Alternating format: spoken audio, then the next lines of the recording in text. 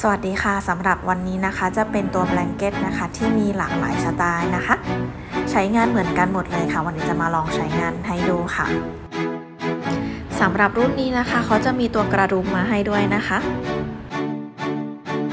เราสามารถพับเก็บได้เลยค่ะ ตรงนี้ก็คือเก็บจากตรงข้างล่างนะคะม้วนม้วนม้วนขึ้นมา แล้วก็นำมา